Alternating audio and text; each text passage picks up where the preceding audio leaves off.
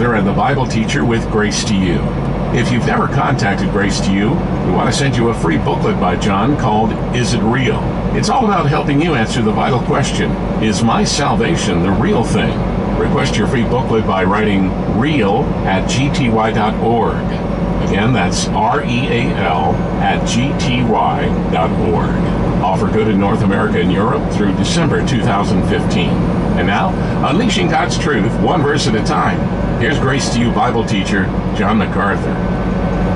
Let's open our Bibles again tonight to the 11th chapter of Romans. And I have to confess to you that this is a, a difficult portion of the epistle to the Romans. And no doubt some of you are wondering when it's going to get practical again, when it's going to sort of touch your life, when Paul's going to get over this long, long argument that he's involved in. And I can tell you it happens in chapter 12. So it won't be long. Chapter 12, we're all going to get right into the practical, nitty gritty kind of things about Christian living. And that'll be a wonderful time. But thank you for being with us and being faithful through this series. You who are super spiritual have been here each week to carry on with this great section of the Epistle to the Romans. We're looking at chapter 11, again, verses 1 through 10. And I want to remind you at the very beginning that the theme of this chapter is Has God canceled his promises to Israel? That's the question Paul is answering here.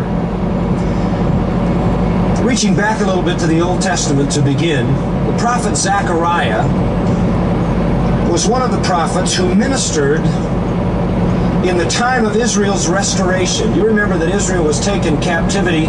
Basically, I mean by Israel, the nation of Israel is duly constituted. The People of God were taken captivity into Babylon. And then 70 years later, they were set free and they came back to the land.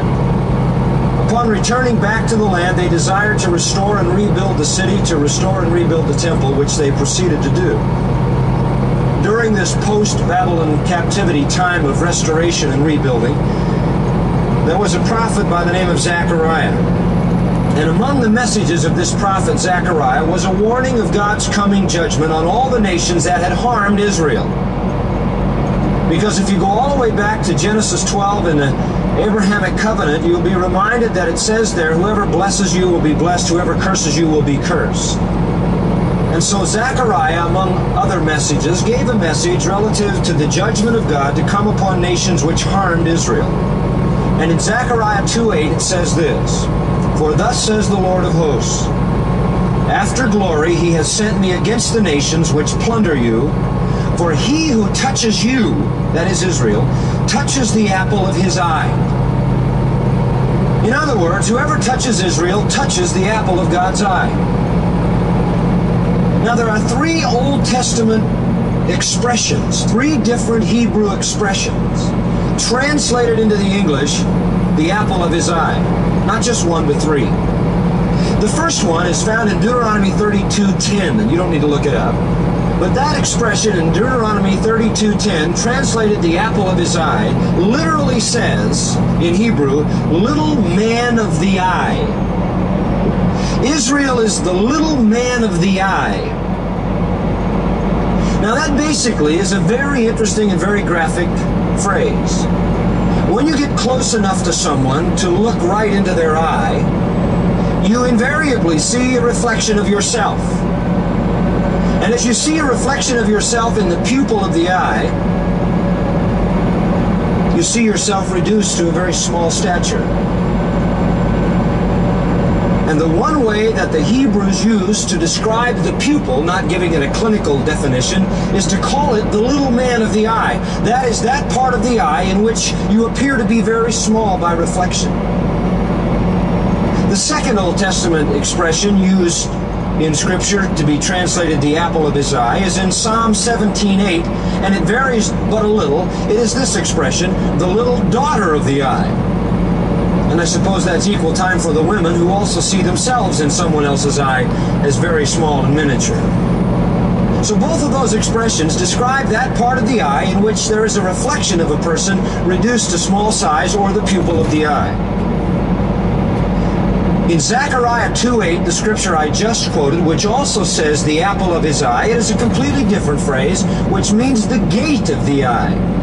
The gate, that is that portion of the eye which allows the light to come in. The retina of the eye, again describing that visible part of the eye.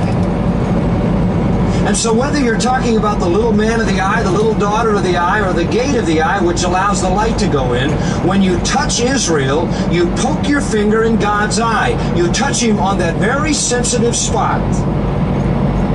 And the point that all of those scriptures are making is that God cares for Israel that Israel has a very unique relationship to God, and when you touch Israel, you irritate God in the most irritable part of a human anatomy that is exposed. We can look at it this way. What does this say about God's relationship to Israel? First of all, it says they are very precious. The eye is something to be protected because it is very, very precious. No one cares to lose sight. It is a precious possession. To touch Israel, then, is to touch a very precious possession of God, which he values very highly as you would value your own eye. Secondly, it is also to say that Israel is easily injured. Of all of the parts of the human anatomy that are exposed, that are outwardly exposed, the eye is by far the most vulnerable and the most sensitive. And therefore, can be injured the most readily. And so Israel, as the apple of God's eye, is subject to injury rather easily. Thirdly, the eye is that part of the body which is most carefully protected. Of all the parts of the body, it has the most natural protection. The eyelid is that which is designed to protect the eye the eyelashes and the eyebrow designed to protect dust from getting into the eye. The eyelid, by the way, allows the system of washing to take place to cleanse the eye and keep it clean. And even the, the bones around the eye are to protect it, placing it inward in a socket so that any blow is somewhat deflected by that which surrounds the eye. So when Zechariah or when Deuteronomy 32 or Psalm 17 says Israel is the apple of God's eye, it is to say that Israel is very precious, very easily injured, and very carefully protected by God. And anyone who affects Israel negatively, anyone who harms Israel, is, as it were, poking a finger in the eye of God. Now, to further understand this thought, look with me to Psalm 105. Psalm 105, verse 8. And here we have a whole psalm speaking about God's covenant relationship to Israel. And just picking it up in verse 8, He hath remembered His covenant forever, that is His promise made with Israel, the word which He commanded to a thousand generations, which covenant He made with Abraham and his oath unto Isaac, and confirmed the same unto Jacob for a law, and to Israel for an everlasting covenant. So Abraham, Isaac, Jacob, all of those people had the covenant repeated, which covenant was made to the nation as an everlasting covenant, saying, Unto thee will I give the land of Canaan, the lot of your inheritance when they were but a few men in number, yea, very few, and sojourners in it, when they went from one nation to another, from one kingdom to another people, he permitted no man to do them wrong, yea, he reproved kings for their sake, saying, Touch not mine anointed, and do my prophets no harm. Now, what the psalmist is saying is that when God called out Israel and established a covenant with them, he built into that covenant protection against Israel's injury and ultimate harm so that they would not be wiped out, so that he could fulfill ultimately his promise to them. So Israel then is said to be the apple of his eye, is said to be his special anointed. Touch not mine anointed. Let me draw you to another passage in Deuteronomy chapter 28. And this gives us even another insight into God's relationship to this nation Israel. And in the chapter, we find God promising blessing for obedience. In verse 10, it says, All people of the earth shall see that thou art called by the name of the Lord the world will see that you belong to him. Then verse 13. And the Lord shall make thee the head, and not the tail. And thou shalt be above only, and thou shalt not be beneath. Now, the point that he's making there is of all the nations, Israel is to be the head. Of all the nations, Israel is to be the unique recipient of divine blessing. So Israel then is the apple of God's eye. Israel is the anointed of God. Israel is by design the head of all nations in terms of special and unique blessing. In spite of all of these things, and many other prophecies regarding Israel, and many other statements of God regarding his special covenant with them, it is still the belief of many people that God has no plan for Israel, that there is no future for that people. In fact, it is the belief of many that God has completely forsaken his disobedient people, his Christ rejecting people. He has set that nation aside. They are totally forever set aside, and God has canceled all of the national promises to Israel as a nation. And we're learning in chapter 11 that that is in fact not the case. That is not the case. I talked this morning to a man who has been many years as a missionary in Korea. He said to me, It's intriguing to me to realize after these years and dialogue with many missionaries in Korea that 90% of the missionaries serving in Korea are covenant in their theology. And the implications of that are that they deny any future place for the nation Israel. So this is not an uncommon view, this is a rather common view. That there is no future for Israel. That the church has taken the place of Israel and blessing is for us, and the nation Israel has no debt owed to them by God at all because of their disobedience. And yet, the scripture makes it very clear that that is not the case. In Jeremiah chapter 30, verse 11, For I am with thee, saith the Lord, to Israel to save thee, though I make a full end of all nations to which I have scattered thee. In other words, though I make an end to every nation Yet will I not make a full end of thee, but I will correct thee in measure, and will not leave thee altogether un- unpunished. He says, Though I would destroy every nation in the earth to which you've been scattered, I would never ultimately and utterly destroy you. I will correct you, and I will punish you, but I will not destroy you. Again, another confirmation of the fact that God still has a plan for Israel. Now, in the 11th chapter of Romans, Paul affirms this. In verse 1, we read, I say then, hath God cast away his people? God forbid. Me geneta. No, no. Verse 2 God hath not cast away his people whom he foreknew. Now, that is the basic truth of chapter 11. God has not ended his covenant promises to Israel. And as I told you last week, this is so very important for us because we want to know that we have a God who keeps his promise, right? And that's the whole of Paul's point here. In trying to call men and women to Christ, in trying to call them to salvation by grace through faith, he is calling them to the God who is the God of Israel and is important to him to prove to them that the God of Israel has not abandoned his covenant people. Because if he abandoned them, it's going to be hard to sell anybody else the salvation that he now offers. For why should they trust a God with their destiny who has abandoned his promises to another people? So the point in 11 is to answer that query that's going to come in the mind of a person who says, well, has God set aside Israel forever? Has God canceled all his promises to them because of their unbelief?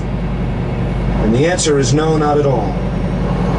Now, of course, he has said that God has set them aside. Remember back in chapter 9, verse 31? But Israel, who followed after the law of righteousness, has not attained to the law of righteousness. Why? Because they sought it not by faith, but as it were by the works of the law, for they stumbled at that stumbling stone. He says they've stumbled over the truth of Christ. In chapter 10, verse 1, he says they're not saved. In verse 2, they have a zeal for God, but not according to knowledge. In verse 3, they are ignorant of God's righteousness and have not submitted to it, but tried to establish their own. So he's made it very clear that they are unbelieving as a nation. He has made it very clear that God has set them aside as a special people.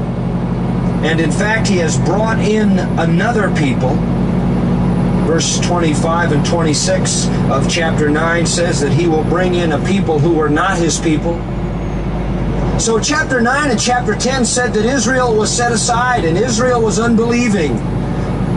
And God was chastening Israel. And then at the end of chapter 10, it says that they are a disobedient and contrary people.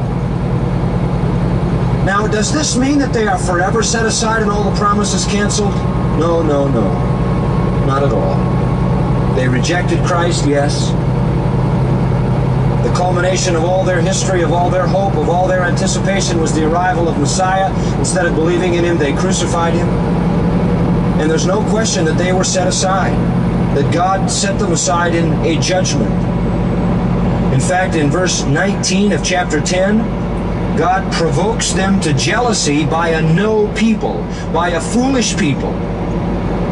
And verse 20 says that God was found by them that sought him not.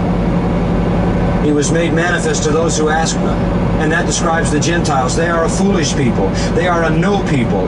They are a people who didn't seek, but they are a people to whom ultimately the truth has come. Because Israel rejected, God turned to them. So Israel is set aside. And we've learned this, haven't we, in our study of Matthew?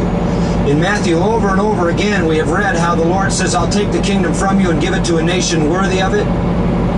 How he says to them, You will not come to the wedding feast, Matthew 22, therefore go out in the highways and call anyone who will come in. How he says to them in chapter 23, Behold, your house is left unto you, unto you desolate. I turn from you, as it were. So we know that Israel is set aside. But the question is, is this total? Is this permanent? Has he canceled his promises to Israel? Paul's answer is no, no, no. To the nation, he has not canceled his promises. And he is only reiterating this because it is the inspiration of the Holy Spirit and it is consistent with the Old Testament. In Jeremiah 31 35, Thus says the Lord, who giveth the sun for a light by day, and the ordinances of the moon and of the stars for a light by night, who divides the sea when its waves roar, the Lord of hosts is his name. If those ordinances depart from before me, saith the Lord, then the seed of Israel also shall cease from being a nation before me forever. In other words, there's more chance of everything in the heavens falling apart than there is of Israel not being a nation. If heaven above can be measured, and the foundation of the earth searched out beneath, I will also cast off all the seed of Israel for all that they have done, saith the Lord. He says, I'll cast off Israel when you can measure the universe. Get out your tape and give it a try. It's infinite. There's no hope of God ever setting aside Israel. That promise in Jeremiah 31, 35 to 37 ought alone to end all the discussion as to whether or not God has a future for, future for his nation Israel. So Israel, says Paul, will not be set aside. In fact, the setting aside that we are now seeing, and we're still living in that time, is partial, passing, and purposeful, and that's how chapter 11 is divided. Partial, verses 1 to 10, passing, that is, it's not permanent, verses 11 to 25, and purposeful, verses 26 to 36, and we'll see the purpose of it when we get to that section. Now, first of all, we're looking at the partial aspect. Paul wants us to see that God has not set aside Israel totally, but rather it's only partial. And he uses three proofs the writer, the remnant, and the revelation the writer, the remnant, and the revelation. Now, do you remember we looked at the writer in verse 1? Has God cast away his people? No, no. For I also am an Israelite, of the seed of Abraham, of the tribe of Benjamin. I mean, it's a simple, basic syllogism. If God casts away his people, and I am one of his people, therefore I am cast away. But when you reverse the syllogism, it makes no sense unless it's a positive. For example, Paul could say, I am an Israelite. God has not forsaken me, therefore God has not forsaken all the Israelites. That's the point, the syllogism. So that is his argument. In being converted to the Lord Jesus Christ, Paul was living proof that God had not set aside Israel totally. It was only partial. In fact, Paul's conversion was especially representative of the nation. For Paul was an unbelieving Jew. He was a fanatical zealot against the gospel. He was ignorant of God's righteousness. And God saved him, and he will also save other fanatical, unbelieving, zealous, ignorant Jews. As Paul came to faith and true righteousness in Christ, he showed that God was not through with the Jews. So the first argument is the writer. The second one is the remnant. That's where we left off last time, verse 2. The remnant. Now, God has always had a faithful group of people in his nation. It's never been the whole nation. You remember that? It has never been the whole nation. In fact, we learned that so very, very clearly in the ninth chapter. Go back to verse 6 of chapter 9. The end of the verse. For they are not all Israel who are of Israel. They're not all Israel who are of Israel. Neither just because they are the seed of Abraham are they all true children of God, but in Isaac shall thy seed be blessed. In other words, it's always been selective. It wasn't all the children of Abraham, not the children of Ishmael, but the children of Isaac. And then he goes to the Jacob and Esau illustration. It wasn't the children of Esau, but the children of Jacob. So it never was all those out of the loins of Abraham. It was always selective. Verse 27 of chapter 9. Even Isaiah said, Though the number of the children of Israel be as the sand of the sea, only a remnant shall be what? Saved. It's always been a small group, always been a remnant. In verse 29, and as Isaiah said, except the Lord of Sabaoth has left us a seed or a remnant, we would have been as Sodom and Gomorrah.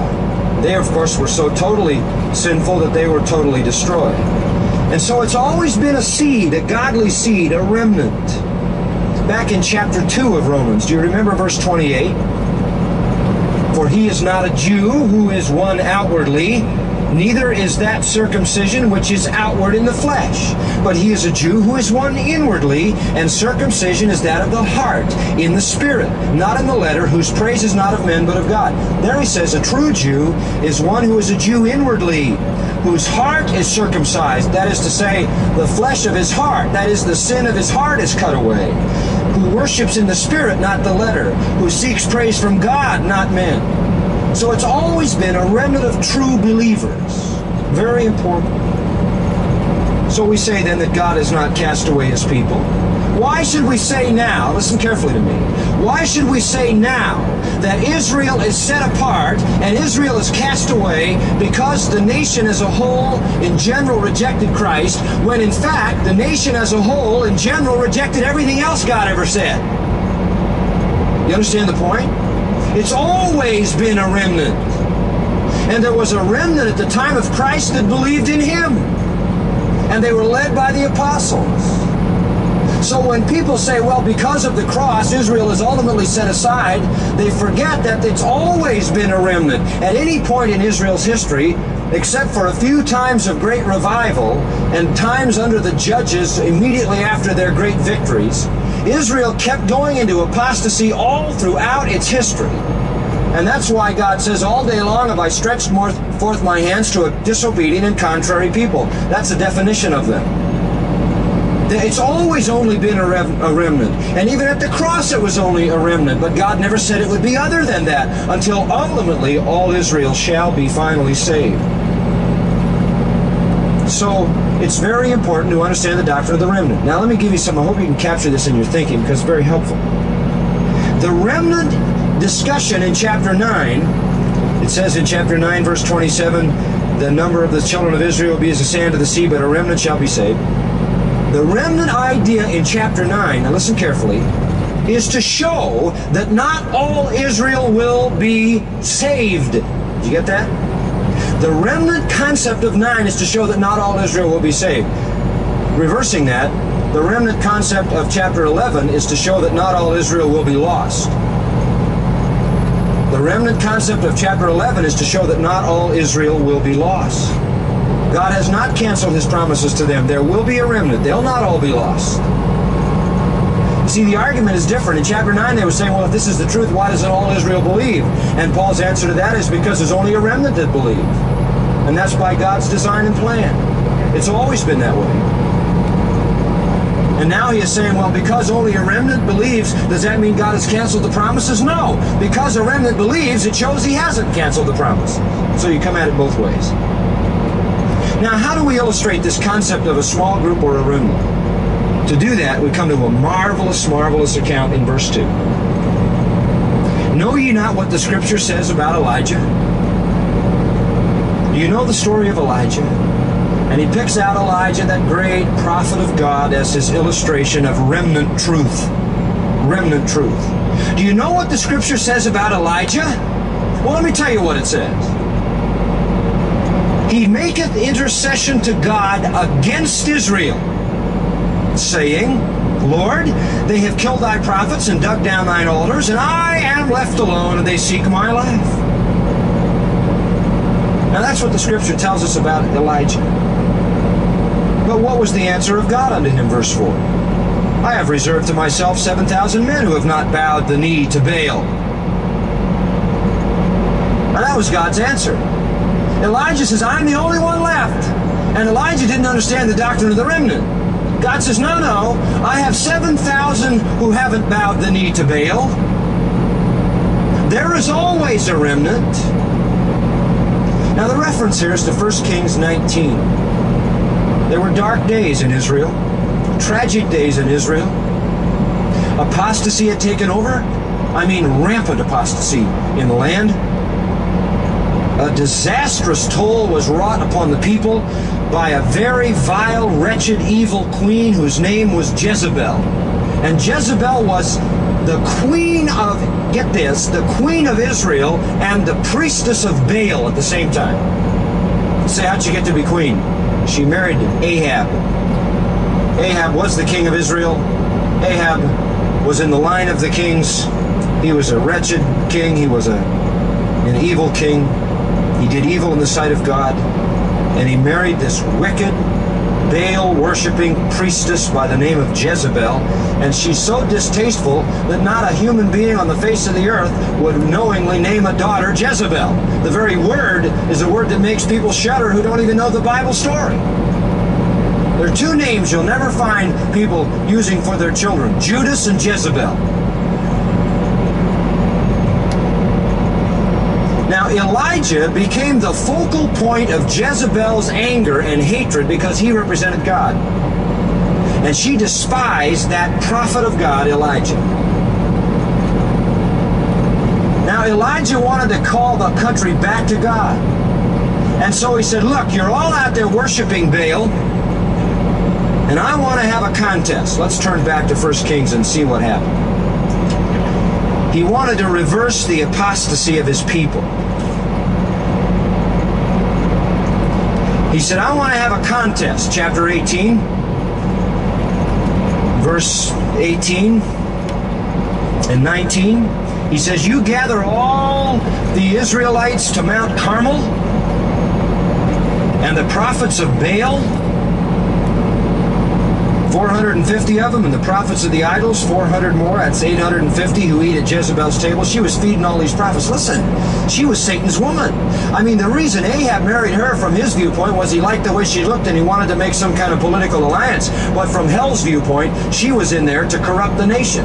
She was in there with 850 priests that she ate with, that infiltrated Israel, that got the people worshiping the Baal, which, of course, is a false god. And so he calls for a confrontation of the 450 prophets of Baal and the 400 prophets of idols. And they come up to Mount Carmel, and you remember the confrontation. He says, All right, now you prove that your God is God. You burn up this sacrifice. You remember they had an altar there of stone, and they had a sacrifice, and all day long these guys cried out and screamed and cut themselves.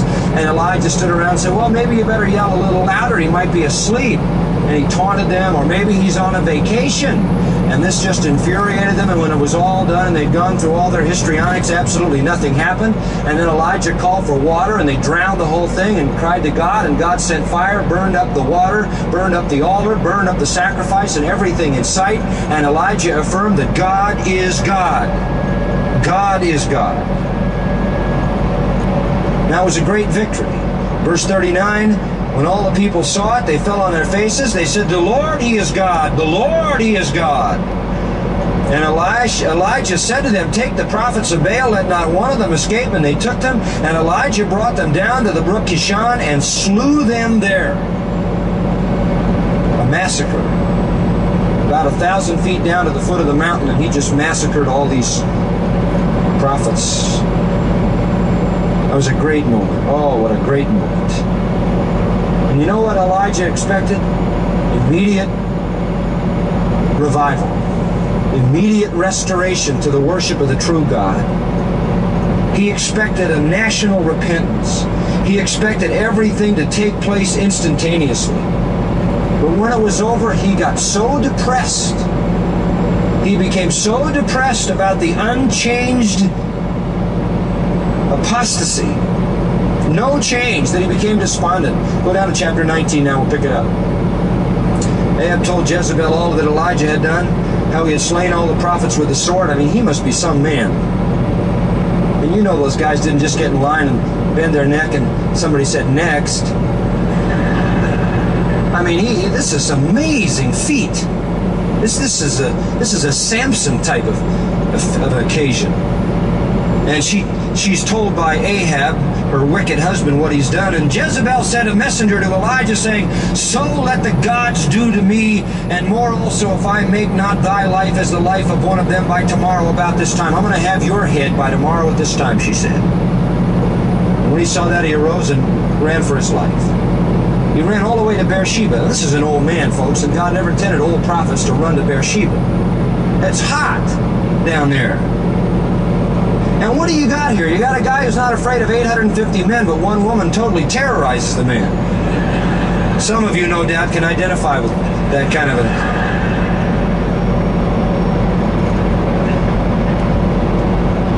You know, it wasn't, I was a running in fear partly, and what it tells us is that we're all just human beings unless we're in the very place of God's power, right? I mean, when he was in the place of God's power, God used him to accomplish mighty things.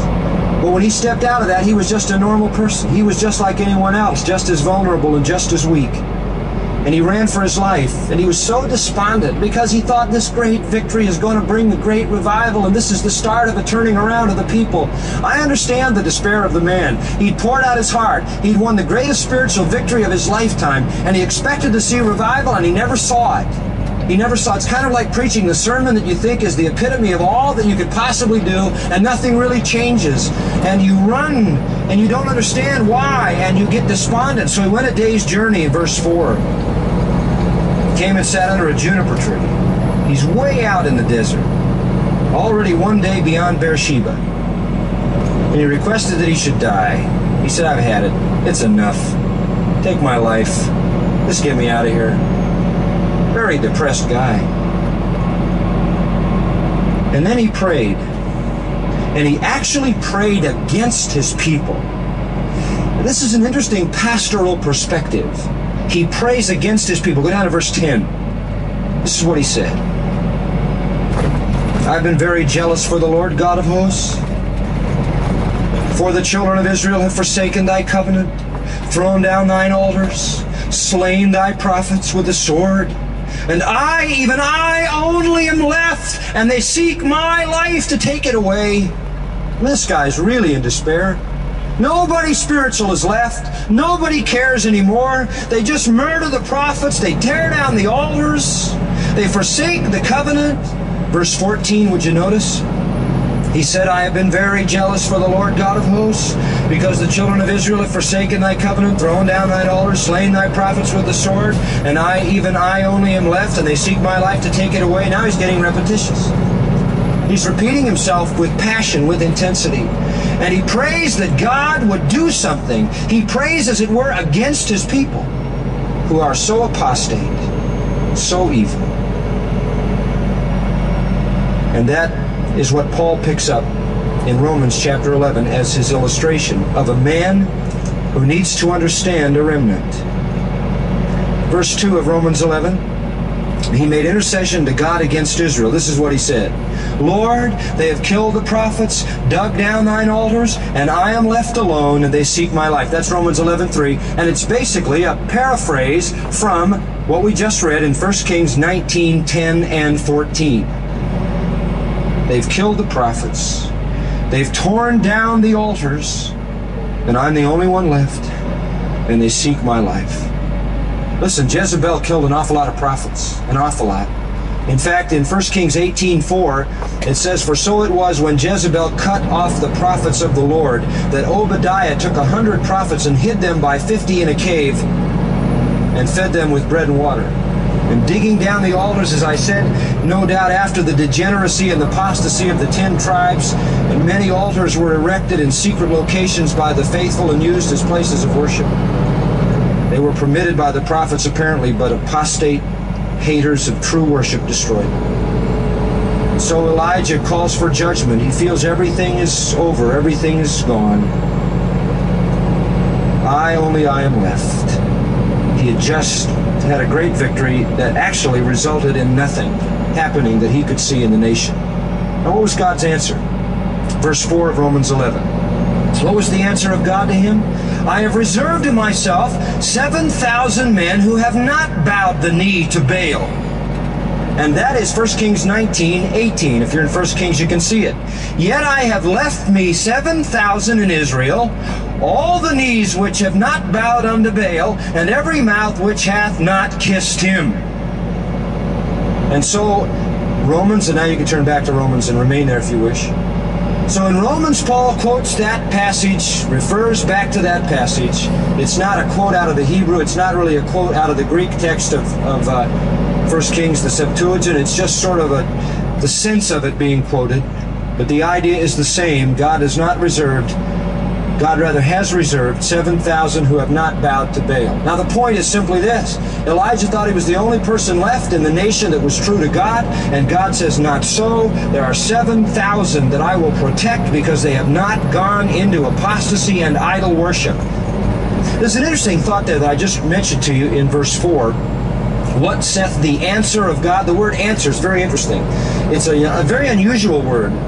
The word is chrematismos, and it basically means a divine oracle. So that it's not just an answer that a man could give, it's a divine answer. So, what was the divine word of God? What was the authoritative revelation of God? That I have my remnant who have not worshiped Baal. Baal, by the way, is a term referring to the Phoenician deity called Baal. The Chaldeans called him Bel, B E L. That's why some of their kings were called Belshazzar, and so forth. Uh, Baal and Bel are associated with the female god Ashtaroth, uh, with the Greek Astarte, and with the Queen of Heaven and with Venus. So Baal appears in all different kinds of pagan forms. Sometimes Baal appears male, sometimes female, and that's consistent with the switching of, of gender among the false deities. So he says, I have 7,000 that have not bowed their knee to Baal. I have, I love this, reserved to myself. Now that's sovereign preservation. That's sovereign election. Reserved by God for God. God always keeps a remnant. The nation may be apostate, God keeps a remnant. Now listen carefully to what I say. In Elijah's time, there were 7,000 in the remnant. In Isaiah's time, there was a very small remnant. You remember chapter 6? God says to Isaiah, You go out and preach the message, and know this that they, their ears will be fat, their eyes will be blind, their minds will not understand, but you preach anyway till all the cities are laid waste, until there's no inhabitants in the land. Because when it's all said and done, you'll find a tenth, and there'll be a godly seed. There's always a godly seed.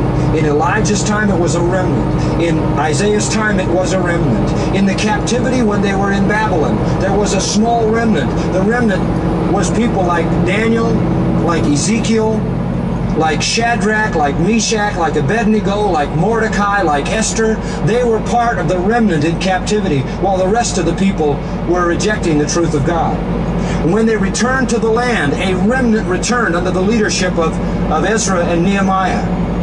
In Malachi's time, there was a remnant and that remnant sought to have their names written in God's book of remembrance. Malachi 3:16 says, "And the Lord had their names written there, and he said, I will punish this whole nation for their apostasy, but I have your names written in my book of remembrance." And he said, "They shall be mine in the day that I make up my jewels."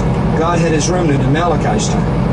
And when Jesus came, the whole nation of Israel was apostate, but he had his remnant, and his remnant was John the Baptist and his followers, and his remnant was was Anna, and his remnant was Simeon, and those who looked for the redemption of Jerusalem. There was always a remnant.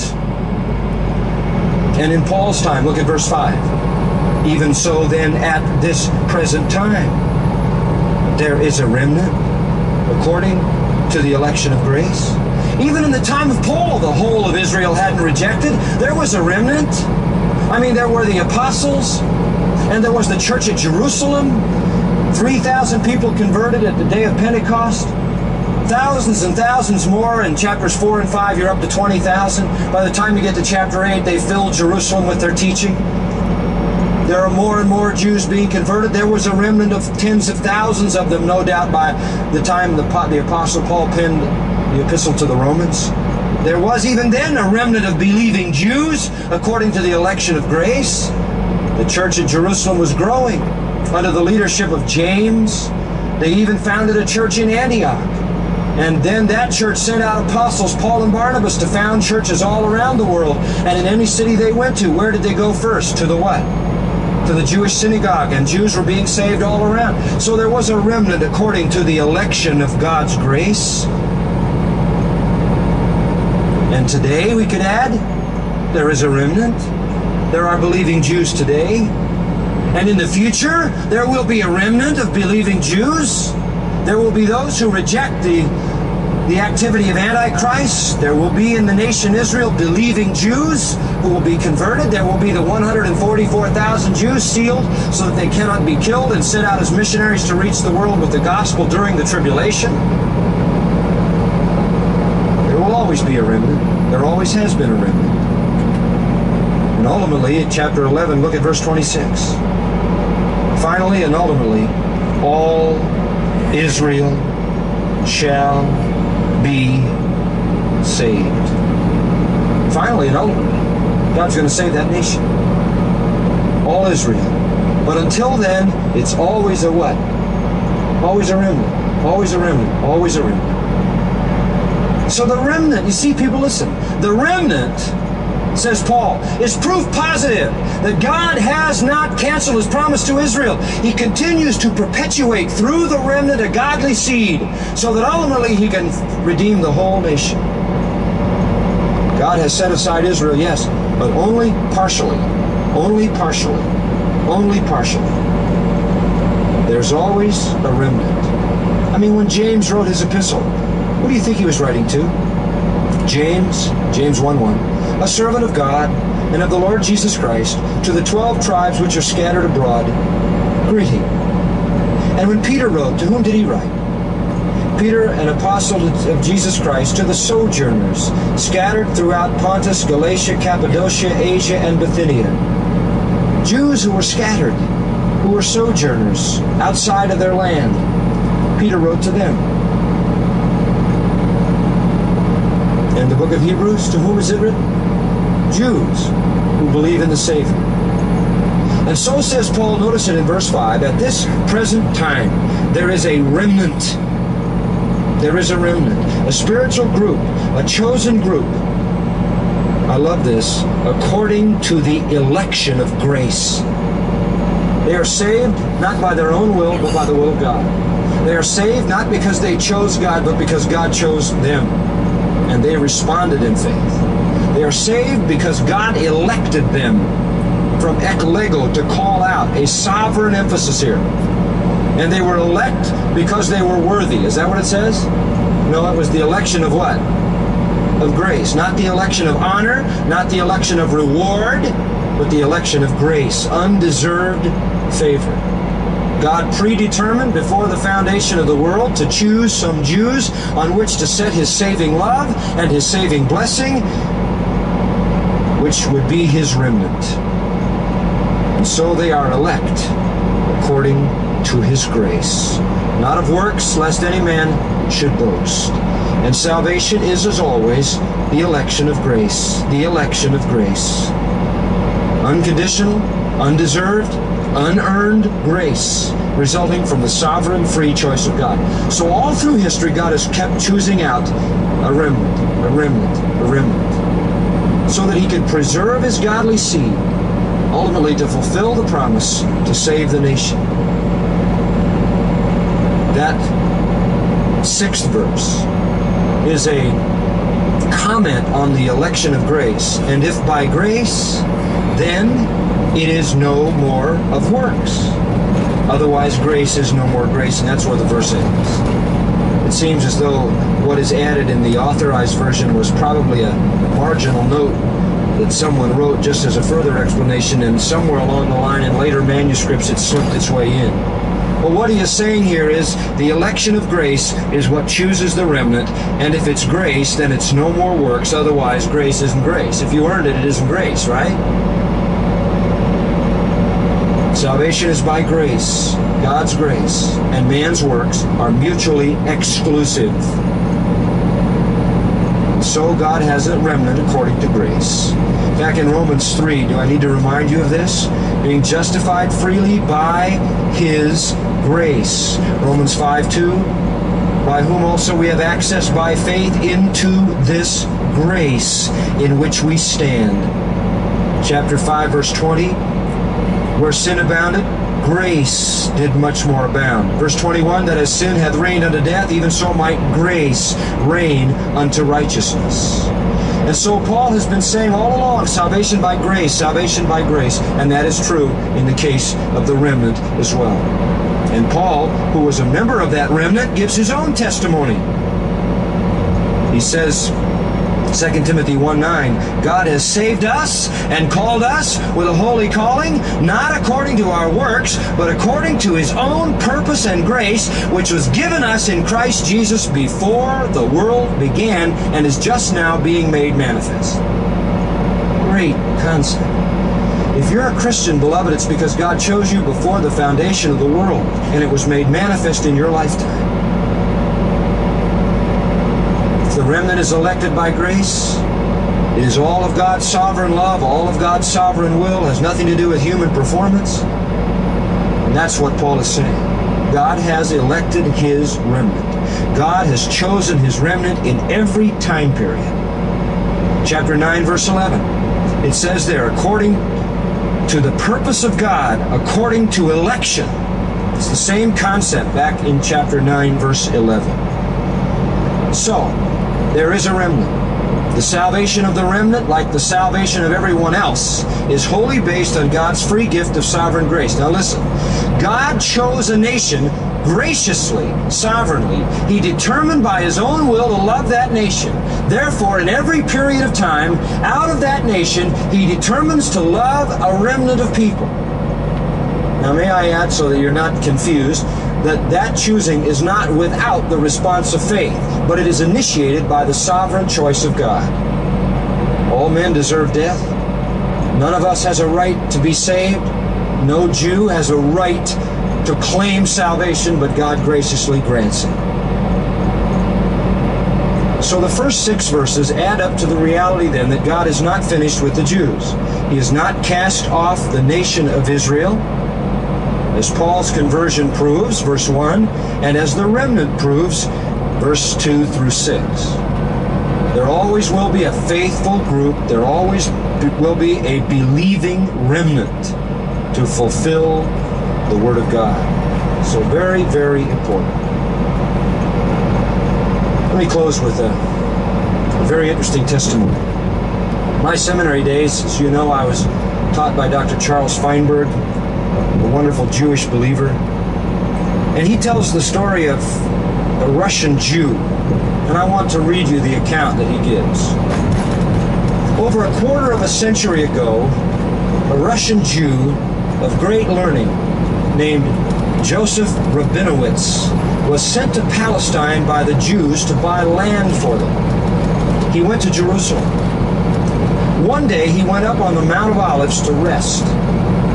Someone had told him to take a New Testament as the best guidebook around Jerusalem. The only Christ he had known was the Christ of the Greek and Roman Orthodox churches, who were his persecutors and the persecutors of the Russian people. But as he read the New Testament, he became acquainted with the real Christ of whom the Old Testament scriptures had foretold, and his heart grew warm. He looked off toward Calvary and thought, Why is it that my people are persecuted and cast out? And his conviction gave the answer. It must be because we have put to death our Messiah. So he lifted his eyes to that Messiah and said, My Lord and my God. He came down from the mount a disciple of the Lord Jesus Christ. He went home to Russia and erected a synagogue for the Jews. And over the door of that synagogue he had written, Let all the house of Israel know that God hath made that same Jesus whom ye have crucified both Lord and Christ. That's a funny thing to write on a synagogue. He was one, says Feinberg, of the many present remnant of Israel, which proves conclusively better than words that God has not cast away his people. He continues to collect a remnant. Has he canceled his promises? No. The writer, the remnant prove it. Next time, Revelation, as we look at verses 7 to 10. Let's pray. Our Father, we thank you that you are a God worthy of trust. You are a God who keeps your word. Thank you for what we see in the nation Israel. We understand how that those people who heard Paul present the gospel of grace and who knew that the Jews as a nation had rejected it would say, well, how can it be true if they rejected it? How can it be the truth of God when these people who are the recipients of the, of the revelation of God refuse to receive it? We understand how they could say, and if it is the truth, does this mean God has canceled his promises to them? So, Lord, we thank you for this answer. Because if you had abandoned your people, we would wonder whether someday you might abandon us too. We thank you that you are a God who keeps covenant. And the day that you forsake Israel is the day that we get our tape measure out and measure the universe. Thank you, O oh God, for being a God of great truthfulness, great faithfulness. We bless you for that. For we have committed ourselves to you with the confidence that he which hath begun a good work in us will perform it until the day of Jesus Christ. That as you never forsake your elect nation, so you will never forsake your elected church. We thank you for that. Name. You've been listening to John MacArthur.